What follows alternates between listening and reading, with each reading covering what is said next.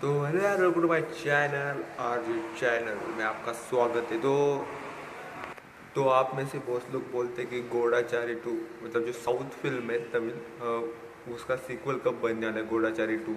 तो मैं आपको पहले क्लियर कर, पहले आपको क्लियर कर दूँ कि फ़िल्म की टीम मतलब जो टीम है, जो उसमें जो मेन एक्टर है, उनकी फ़िल्म मेजर आने वाली है मेजर जिसका ट्रेलर भी आ चुका है कुछ समय पहले मैंने उस पर रिव्यू भी दिया है। तो अभी उसका लास्ट शेड्यूल एंड हो चुका है शूट जी अभी उसकी फ़िल्म की एंड हो चुकी है मेजर की और अब वो रिलीज़ होगी। तो मैं बता दूँ मेजर के बाद घोड़ाचारी टू पर काम करने वाले हैं वो।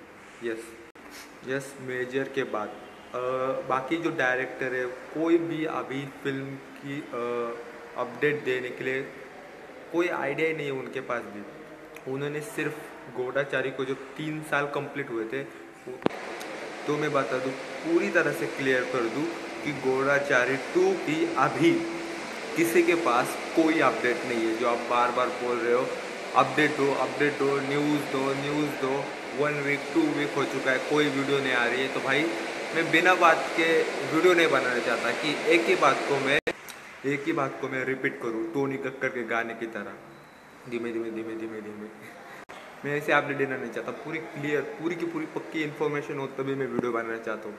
लेकिन आपको क्लियर करने के लिए, बताने के लिए कि घोड़ाचारी टू बनने वाली है, लेकिन अभी कोई अपडेट नहीं है, कोई भी। बस इतना कहूँगा कि वेट कीजिए, आएगी तो मैं वीडियो बनाऊँगा। अगले वीडियो में बाय बाय और जय हिंद।